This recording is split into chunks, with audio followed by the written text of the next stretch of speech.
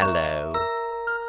For tonight's Grizzly Tale, I'm going to read you a story from More Grizzly Tales for Gruesome Kids. These are cautionary tales that I wrote for lovers of squeam. Tonight's story is called Spoil It stood out like a sore thumb. It was a grubby little house on a pretty little street, and was lived in by the meanest family in Britain. They were called the Pinchguts. Ma and Pa were even too mean to give their children names, so they called them Girl and Baby. Baby was only six and still had a lot to learn about being mean, but Girl was ten, and she was already as mean as her parents. Their house was a disgrace. Ma and Pa had not spent a penny on it since they moved in, and that was twenty years ago. The roof leaked, the cellar flooded, the windows were so black with dirt that curtains were not required. When their landlord told them to decorate the house or get out, they used custard to save on paint, and the tail end of a squirrel to save on a paintbrush. When they needed running water, they stuck a hose pipe up their neighbour's plug hole and stole his bath water. They burnt the furniture for firewood, stripped the wallpaper for loo paper, and used Nan's false teeth as rat traps. As for food, the Pinchguts did not believe in buying food when they could eat like kings from their own garden. Snail stew was a favourite, as were grass pizza, fox chops, worm bolognese, nettle meringue pie, toad in the hole, because a hole costs nothing, and the family favourite, magpie mousse. Pa Pinchgut had made a trap for catching birds. He smeared superglue on top of the nut dispenser. Now just how mean is that? Growing up surrounded by such meanness, it was little wonder that Girl was such a mean-spirited spoil sport. She couldn't bear it if people were enjoying themselves. She had to wreck the fun. At parties, she would shout at the magician, I saw you put that card up your sleeve. Or if there was a ventriloquist, she'd jump up and stick a bulldog clip on his lips. OK, Mr. Clip Lips, now let's see your dummy talk. At birthdays, she adored telling Baby what her present was before he'd opened it. It's a bald tyre for a 1975 Ford Cortina. The baby stopped tearing the wrapping paper and started to cry. Oh, boo-hoo, he whined. That's a horrible present. I don't want a tyre. No, but I do, said Pa. That's why I bought it. Give it here.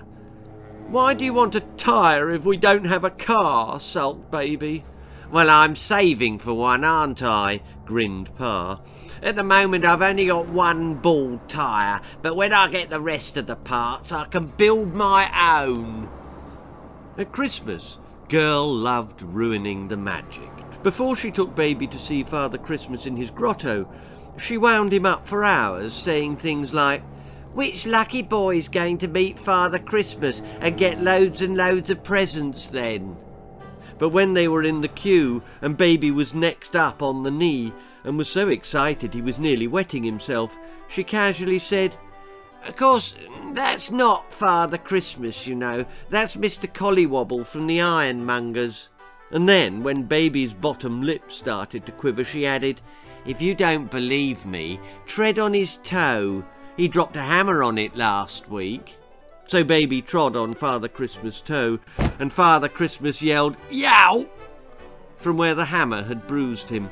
And because it was so funny seeing Father Christmas swearing and all the little children crying, Girl carried on. Go on, tug his beard, it's false. Yow! Howled Father Christmas as the elastic snapped into his chin and Girl went for broke. And punch the elf, it's not real. But the elf was real and punched Baby back which meant the baby cried all through Christmas. But the meanest thing the girl ever did was to tell her Nan that she had a surprise party the following week to celebrate her 98th birthday. But it's not a surprise anymore, groaned her disappointed grandmother. Whoops, girl smirked. Sorry, I thought you should know who's coming. Why? asked Nan. Because nobody is. We invited a hundred people, but they all said no. None of them can stand you. Oh, oh, stop, gasped the frail old lady, or you'll break my heart. Yeah, about time, said Girl. We were rather hoping that might happen soon. You have made out your will, haven't you? Would it surprise you to know that Girl Pinchgut had no friends? Then one night, Baby lost a tooth. He was eating supper, newt nuggets and mashed marigolds, when his tooth fell out on the table. Oh, super! he whistled as his tongue poked through the hole. That means I'll get money from the tooth fairy. Ha! Snorted Girl. What planet were you born on, Mr. Gullible? Fairies don't exist. They do? How could wishes come true if they didn't? Well, it's all done with mirrors, she said snottily. The tooth fairy can't leave money under my pillow with mirrors, riposted Baby. No, sniggered Girl, because the tooth fairy doesn't leave it at all. But Baby refused to believe her, and when he came downstairs the following morning with a fifty pence piece in his hand, Girl was taken aback. See, said Baby, the tooth fairy did come. She left me fifty pence. Oh, grow up, snarled Girl. She doesn't exist. That's Ma and Pa, that is. They put that money under your pillow.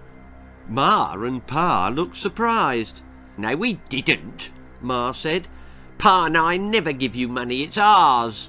Why would we give it to you when we could spend it on ourselves first? They're just saying that to stop you from crying, said Girl nastily. Don't listen to anything they say, baby.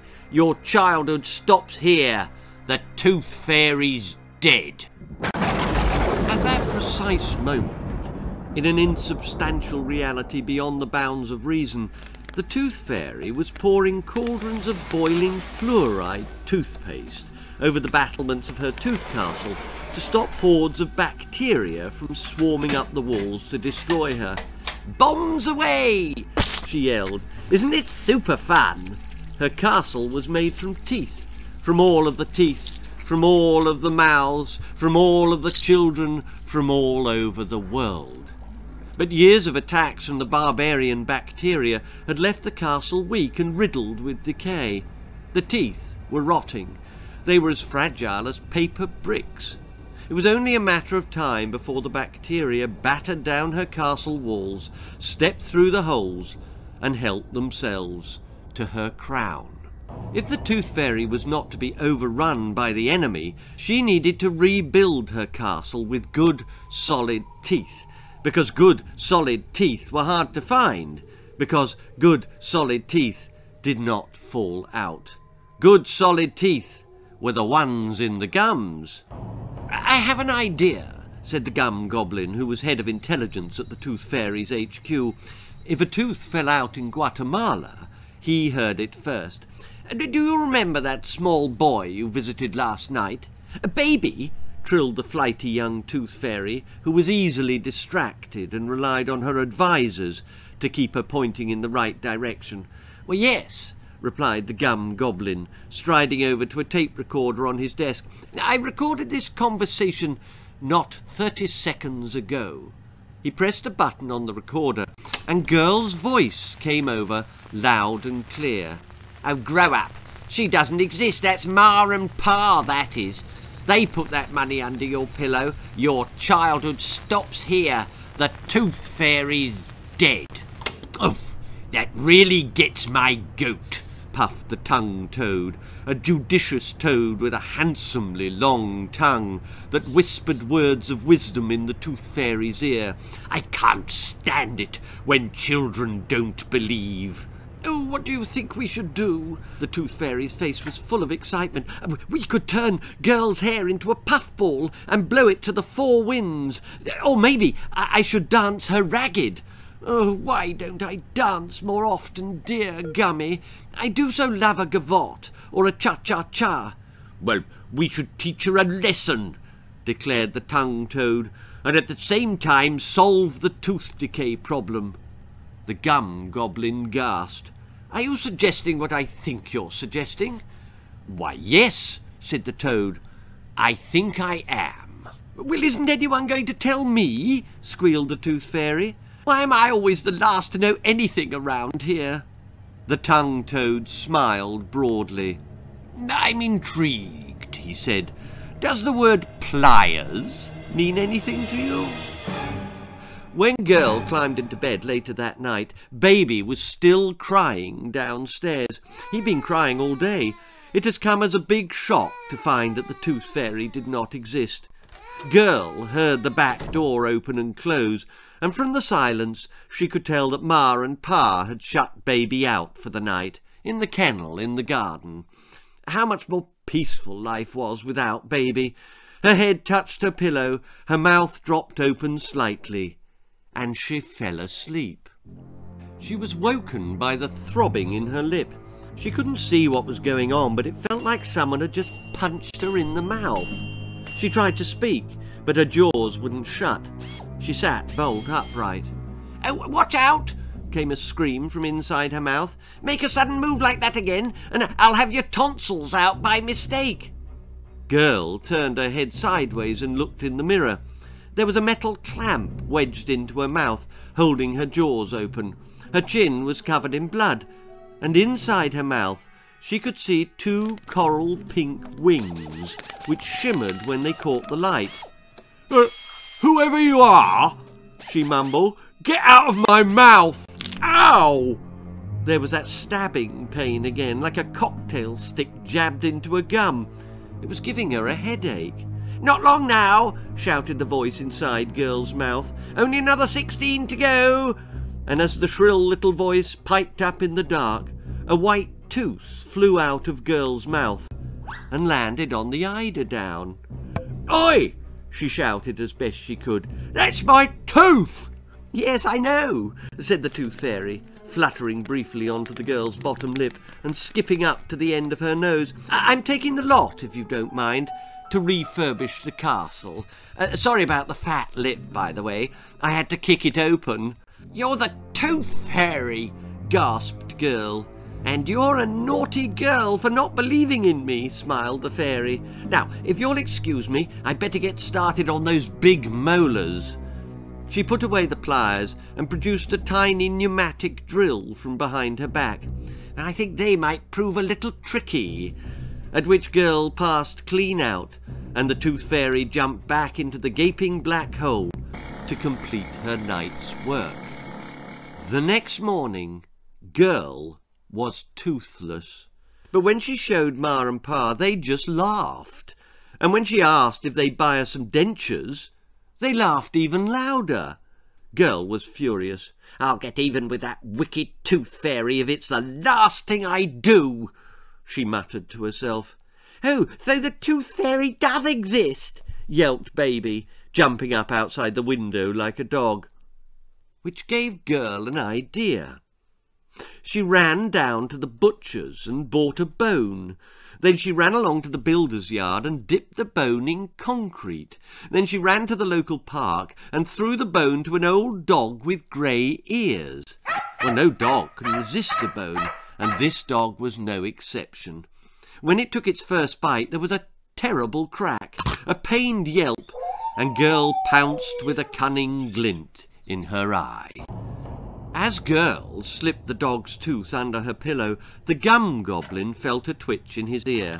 Tooth at the Pinchguts, he said, under Girl's pillow. Well, I, I thought we'd removed all her teeth last night, said the tongue toad. You do your job and I'll do mine, said the gum goblin tersely. I heard a tooth, that's all there is to it. But, but, but what if it's a trap? Well, how can a tooth be a trap? A mouth is a trap. A tooth is a tooth. It's all right, but don't say I didn't warn you. Well, I never said that. Did I say that? But the argument had long since become irrelevant because the Tooth Fairy had already left for Girl's house. Over the newly white-toothed castle wall she flew, over the field of deadly bacteria hiding in their filthy trenches, until she came to Girl's house, to the window that was normally closed, but on this particular occasion was conveniently open. The tongue toad was right. It was a trap. As the tooth fairy rummaged under Girl's pillow, Girl snapped open her eyes and caught her like a butterfly. Gotcha, she said. Now, here's what I want you to do. Oh, let me go, screamed the coral pink fairy. You're wrinkling my wings. But Girl wasn't letting go until the fairy had met her demands. Take me home to your castle and give me back my teeth, she whistled, picking up a slipper, or I'll squash you with this and ruin toothless nights for children all over the world. But you don't understand, the fairy trembled. Your teeth are the only good teeth I've got. I, I used them to rebuild my castle wall. If, if I give them back, my castle will be devoured by bacteria. Oh dear, smiled Girl heartlessly. She squeezed harder. Looks like you can't win either way. The Tooth Fairy did not like the look of that slipper. She took Girl's hand and flew her back to her castle, where the Gum Goblin and Tongue Toad were waiting to greet her. You will fetch my good strong teeth now, Girl ordered. Well, only if you promise not to be such a spoil sport in future, replied the Gum Goblin. No deals, roared Girl, raising her slipper. One false move, and the Tooth Fairy gets it. So you admit that the Tooth Fairy does exist? Teeth! bellowed Girl. While you, she said, pointing to the tongue toad, will stand by to hop me home the moment I'm fully toothed up again. Well, I really must protest, interrupted the tongue toad. This is not a good idea. The, the wall was built to keep the evil bacteria out. If we pull it down, we'll be ransacked. But his protests came too late, because just then the gum goblin arrived with a sack that was full of Girl's good strong teeth that he'd pulled from the castle wall. He presented them to her and held up a mirror while she popped them back in. But the moment she had, she wished she hadn't. She had just climbed aboard the toad when a fearful slurping shook the castle to its roots. The enamel wall was breached the bacteria swarmed into the castle and slimed over the bridge into the crown chamber. What do you want? asked the Tooth Fairy with dignity. Teeth, grunted their leader, a brute of an organism called Bacillus maximus. We eat good teeth. Give us one mouthful of good teeth, and we'll go away. But the gum goblin didn't have any. The tongue toad didn't have any, and the tooth fairy had lost hers years before in a fight over a hand of poker, which just left girl. Before she could close her mouth, Bacillus Maximus spotted the telltale white gleam, and with a loud blast of his whistle, he waved his troops forward. Girl realized that she was in a spot of bother and tried to pull her teeth out again, but they were stuck fast. She tried to run, but a legion of germs blocked her way. Like a swarm of black flies, they overwhelmed her. She tried to scream, but her teeth had turned to goo in her mouth, and in less than a minute, the bacteria had gone, and Girl was just a puddle of smelly brown sludge. Which meant that the pinch guts were able to bury her in a cheap fizzy pop bottle instead of an expensive brass-handled coffin. And that, as Ma and Pa told Baby, was something of a result. And when Baby lost his next tooth, he pretended to be asleep until the tooth fairy was actually underneath his pillow, dragging the tooth out. When she re-emerged, he had his eyes open. Hello, he grinned excitedly. I knew girl was wrong. The Tooth Fairy heaved the tooth into the rucksack on her back and prepared for takeoff. I knew you existed. Well, I knew I existed too, she winked. Then she fluttered out into the night sky and headed for home, with Baby's voice booming behind her Give my love to Father Christmas, the Easter Bunny, the baby stork, the little leprechauns, and the Yeti? So she did.